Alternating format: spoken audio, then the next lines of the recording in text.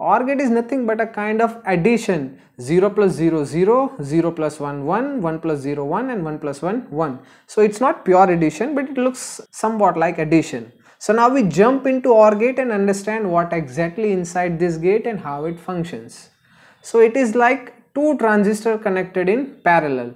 So when we give both the inputs as 0, what will happen? This VCC stays up to this point and it will not be reflected in output. And that is why when the both inputs are 0, the output still remains 0. But now instead of both the inputs 0, what happens when B is 0 and A is 1? So when A is 1, this transistor gets turned on and because of this we get this VCC in output and that is why we can have 1 in output. Now instead this when we reverse the input what happens? The output will become 1 because of this transistor and now when both the inputs are 1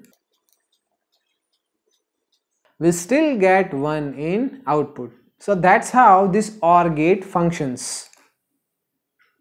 So by observing this truth table, if we want to write an simplified boolean expression, then we can write y is equal to a plus b, the addition of both the inputs.